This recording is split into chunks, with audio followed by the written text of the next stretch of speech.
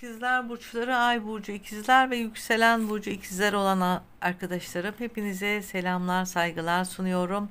Rabbim inşallah herkesin işini kolaylaştırsın. Şimdi bir çarşambadan bir çarşambaya bakımlarınıza başlıyorum.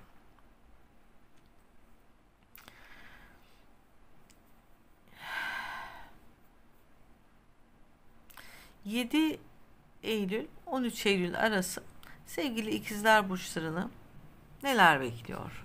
Merkür'ün denetiminde olduğunuz için sizin bakımlarınızı çarşamba günleri yapıyorum. Beni yeni takip alan tüm dostlarıma duyururum sevgili arkadaşlarım. Haydi bakalım şöyle bir işimizi kolaylaştıralım. Kada, e, neler bekliyor bakalım bu hafta bizleri. Bismillahirrahmanirrahim. Veli tüzza, küllü nefsin, bima kesebet ve hümla yüzlemun. Herkes kazancına göre mükafatlanacak ve hiçbir kimseye zulüm yapılmayacaktır. Arkadaşlar, duygusal bir derinlik yaşadığınız dönemeçlerden geçtiğinizi gösteriyor. Duygusal bazı durumlar oluşmuş, bazı sıkıntılı durumlar olabilir. Bir karma karışık süreçlerden geçiyor olabilirsiniz. Hayırlısıyla bir girişimci ruhun devreye girecek. Kendini e, üzme, sıkma, daraltma. Bir şeyler sıkışmış gözüküyor. Bu aralar sıkışmış bir enerji görüyorum. Hayırlısıyla bu sıkışmış enerjiyi değiştireceksin. Kesinlikle yeni bir şeyler keşfedeceksin yeni bir çevre, yeni bir oluşum gelişeceğini görüyorum. Bir şeyler için beklemiyorsun. Hani deve kuşunun başını gömmesi gibi birilerinin yaptığı hataların hep üstünü örtmüşsün, hep üstünü örtmüşsün. Artık çekemez haldesin ve de gerilimli günler yaşamışsın. Bu da işte geçmişi şifalandırman ya da artık yeter e, bittiği noktadayım diyorsun.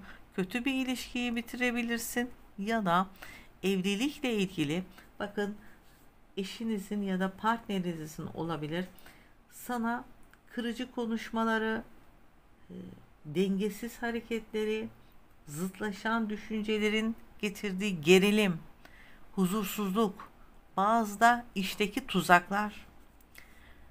Diyor ki ikizler burcu Artık bu hafta ben konuşacağım. Şüphelere son vereceğim. Ne yapacağımı biliyorum ben. Gerçekten kendini baskılamadan kurtulduğunu, kurtardığını ve bir konuşma yapacağını görüyorum. 4 hafta, 4 ay gibi bir süredir ya da 4 yıldır süre gelen bir şeylerin masaya yatırılması. Varsa bir iftira, varsa bir vurdum duymazlık ya da e, seni ne bileyim e, eleştiren birileri bunlarla yüzleşeceksin. Ben güvenilir bir insanım. Ben entelektüel zekada birisiyim. Sizin dedikodularınıza e, yem olacak birisi değilim diyeceksin. Diyeceksin. Gerçekten de bu da senin yapman gereken en önemli şey. Ondan sonra her şey rahatlayacak. Düşüncelerinle, duygularınla, ve de yaptıklarınla gerçekten sıkıntılı süreçleri bitireceğini görüyorum. Kendine güveniyorsun. İyi bir geleceği yaratıyorsun. Bir planı devreye koyuyorsun. Arkadaşım bir umut umutlusun. Bir şeyler için umutlusun. Bu iş olacak ya da benim hastalıklarım geçecek. Ailemle türlü sorunlarım bitecek diyorsun. Umutlu ol, umutlu ol, umutlu ol. Devam et. Umutların yeşerecek. Kendini çok iyi hissettiğin dönemlerden geçiyor olacaksın. Yalnız şöyle güzel bir kalabalık olacağını görüyorum. Bekarsanız evlilik ya da evliyseniz evlatlarınızın muradını göreceksiniz, mutluluğunu göreceksiniz ve de e, bekar olanlar, kalbi boş olanlar, verimli bir döneme girmesiniz. Sevgiden yana çok yüzünüzün güleceği bir dönemdesiniz.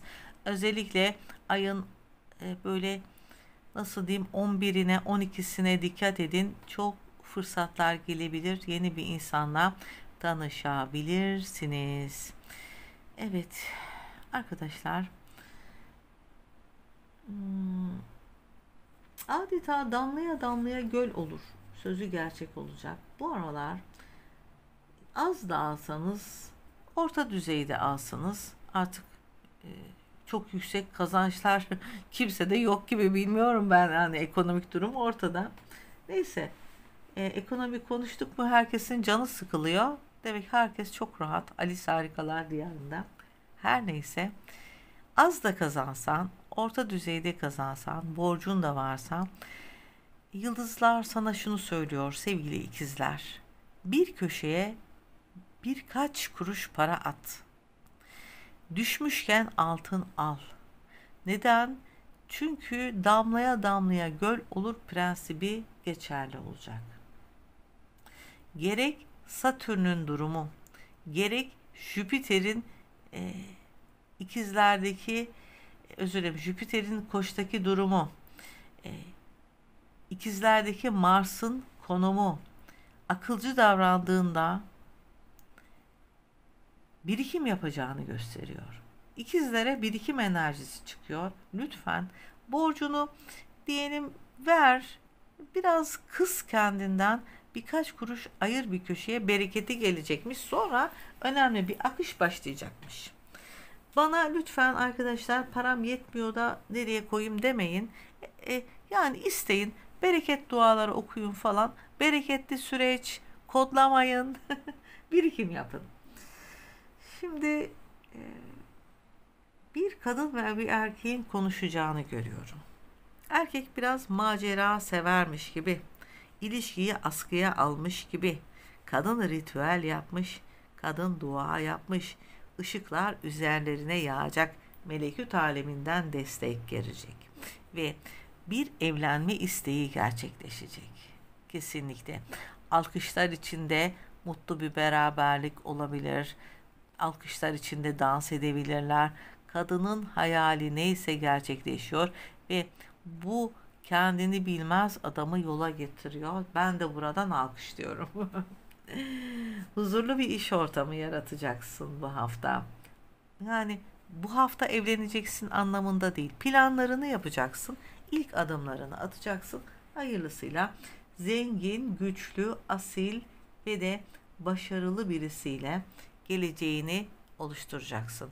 Belki bugün orta düzeyde fakir belki de ama ileride zengin olacak birisiyle evlilik yapacaksın. Çünkü sen buna değersin sevgili ikizler burcu. Zekanla ve de fırsatlara anında fırsatları böyle anında yakalayan yapınla misafirperver, sosyal hayatı güçlü, duygusal anlamda her türlü e, hayalini gerçekleştiren yapınla geleceği oluşturduğunu görüyorum. Ve üzüntüsü olan bir partner, üzüntüsü olan bir eş senden destek geliyor, istiyor. Ailesinden yana kalbi kırık, belki de parasal yönden e, şu anda desteğe ihtiyacı var. E, tabii ki maddi manevi destek veriyorsun partnerine. Aynı zamanda gözyaşı döken hasta birisine ya da bir hayvana sahip çıktığını görüyorum. Bu da sana bol bol sevap kazandıracak hanene artı olarak geliyor. Bir tamamlanma süreci yaşıyorsun. Dört gün veriyor. Dört gün, dört hafta, dört ay içerisinde iki tane sorunu çözeceğini, evet bir kutlama gerçekleştireceğini, bir temel atılacağını görüyorum. Bakınız yani bir Sosyal yönün de çok güçlü bu aralar. Yardıma muhtaç birilerine dostluk elini uzatıyorsun. Yardıma muhtaç derken kimse para yardımı falan istemiyor ama dostluk istiyor senden. Belki bir yola gideceksin, bir hastayı iyi edeceksin. Güzellikleri ve olumlu değerleri hayatına koyduğunu görüyorum. Birilerine imtiyaz sağlayacaksın. Hani her zaman yapmam dediğin prensiplerin vardır. Ama bu sefer sana bir ayrıcalık tanıyorum diyorsun. Ee, birilerine yardım ediyorsun ve birilerinden sana gelen sevinçli haber var. Müjden var sevgili dostum. Birileri diyecek müjdemi isterim. Seni vaktiyle aldatan, seni vaktiyle üzen birisi pişmanlıklarıyla gelmek istiyor. Sen de diyeceksin ki ilahi adalet işliyor. Hem de yerli yerince rayına oturmuş şekilde ilahi adaletin işlediğini göreceksin. Kesinlikle ilahi adalet işliyor ve sürprizlere hazır ol diyor sevgili dostum. Ve de bazı nasıl diyeyim yardım eli ilahi yardım eli uzanıyor düşmanından veya senden nefret eden birisinden kötü bir söz duyabilirsin. Hain ve sabotajcı birisini hayatından çıkartıyorsun.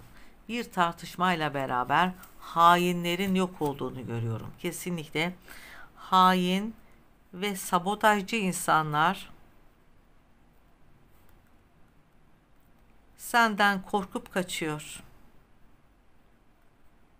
Tamam mı arkadaşlar? Ve bir kararlar alıyorsun. Bilgi sızdıran, dedikodu yapan her kimse. Bakınız dedikoducu ve provokatör insanlar hayatından çekip gidiyor. Şimdi bir şeyleri hesaplamadan yani iyi bir planlamadan bir para harcaması yapmışsın. Şu an negatifte olabilirsin, eksi de olabilirsin. Ama bir anahtarın verilecek sana. Bir iş anahtarı bu. Yeni bir işe girebilirsin. Bir işte görev alabilirsin. Bir projede görev alabilirsin. Bunları gerçekleştireceğini görüyorum. Parayla barış yapacaksın. Ufacık bir sermayeyi büyütebileceğini ve yitirmiş olduğun maddi olanaklara tekrar kavuşacağını görüyorum. Allah herkesin işini kolaylaştırsın. Şimdi bazı düşmanların sevinebilir. Yani işte bak ben de şuna şöyle şöyle yaptım iyi olmuş diyebilir. Ama düşmanların kısa süreli sevinecek onları alt edeceğini görüyorum. Kesinlikle onları alt ediyorsun ve susturuyorsun sevgili dostum. Evet. Devam ettiğimde bir e, yenilmişlik duygusu var. Hani bir abandone olma derler ya boksta falan hani yere knockout sererler falan yani. Diyorsun ki ben knockout oldum işte yere serildim e, ya da rezil oldum bu konuda. Hayır rezil falan olmadın Yapman gerekeni yaptın. Belki sermayen buydu. Belki karşındaki insanın kumaşı bozuktu. Sen elinden geleni yapma, yaptın. Hiç de abandone olma, hiç de mahcup olma. İşine devam et. Ee, bir şeylerden nefret etmene gerek yok. Bu aralar hayatı olduğu gibi ka- karşılayacaksın. Olduğu gibi kabule geçeceksin. Kendini yeniden yapılandıracaksın. Kalbinde hikmet pınarlarının kaynayacağı ve de e, dostlarından gelen selam, dostlardan gelen yardım seni çok iyi bir noktaya getirecek. Hiç kafanı yorma, hiç de canını sıkma. Olayların gidişatı çok iyi olacak sevgili dostum. Elinde bir anahtar tuttuğunu görüyorum. Kötülüklerden korunduğunu söyleyebilirim. Rabbim herkesin işini kolaylaştırsın inşallah. Arkadaşlar şimdi e, bir şey daha ilave etmek istiyorum. E, bir e, adeta hmm, geçmişten ders alacaksınız ya. Böyle bir geçmiş olaylar çıkıyor yani. Böyle bir geçmişte bir yanlış adım atma ya da bir geçmişin faturası önünüze gelebilir bu hafta. Her neyse geçmişin faturasını kesebilirler. Olsun. Neyse bunu vakarla kabul edeceksin. Bu da benim hatamdı diyeceksin. Ve bir negatif enerjinin yok olduğunu görüyorum. Her ne yapıyorsan bir negatif enerjiyi yok ediyorsun. Bir ritüel yapabilirsin. Bir baykuş figürü kullanabilirsin. Baykuş çıkıyor efendim. Bu da negatif enerjinin kemirileceği, yok olup gideceği anlamına gelir. Ben evimde de sık sık baykuş figürü kullanırım, üstümde de kullanırım. Negatif enerjiyi kemirir. Ve bir komşulara dikkat edin. Komşulardan kıskanç biri var. Senden nefret ediyor kıskançlıklarıyla veya arkadan böyle e, dolap çevirerek arkandan çevrilen dolap var. İki erkek ve bir kadın. Bunlara karşı dikkatli ve uyanık olman lazım. Arkandan konuşuyorlar, her türlü kötülüğü yapıyorlar. Hastalık, yıpranma, uykusuzluk çekebilirsin. Bu iki veya üç komşunun kıskançlığından oluyormuş, kötülüklerinden oluyormuş. Hayırlısıyla onlardan da kurtulacağını söylemeliyim sevgili arkadaşım. Kendine çeki düzen vereceğini, iyi planla, iyi bir planlamayla hayatını güzel bir şekilde idame ettireceğini söyleyebilirim. Rabbim herkesin işlerini kolaylaştırsın. Zikrinizi veriyorum sevgili ikizler Burcu arkadaşım. Evet ya musavvir zikrini veriyorum. Bu da hayallerin gerçek olacağı anlamına gelir. Artık musavviri o kadar çok veriyorum ki hepiniz biliyorsunuz ay esmasıdır. İçimizi yumuşatmak için, ritüellerimizin kabul olması için, hayırlı bir evlilik yapmak için 336 kere çekilebilir. Tasvir eden, her şeye bir şekil ve suret veren, kılık ve kıyafete sokan demektir. Yüz güzelliği için, cilt güzelliği için ya musavvir çekiniz efendim. Aynı zamanda hayallerin gerçek olması için. Telepatik bağ kurmak için ya musavvir çekilecek 336. Neden? Telepatik bağ kuracağız ki karşımızdaki kişi, uzaklaşıp giden kişi bize hayal etsin ve e, gelsin. Giden birilerinde gelmesi için çekilebilir. Arkadaşlar mücadele verdiğiniz her şey size başarı olarak gelecek. Bir yıkımdan sonra cesaretle toparlanıp bir şeylerin üstesinden geldiğini görüyorum. Allah herkesin işini kolaylaştırsın. Rabbim şüphesiz en doğruyu bilendir. Hoşçakalın efendim. Gelecek çarşamba görüşmek üzere.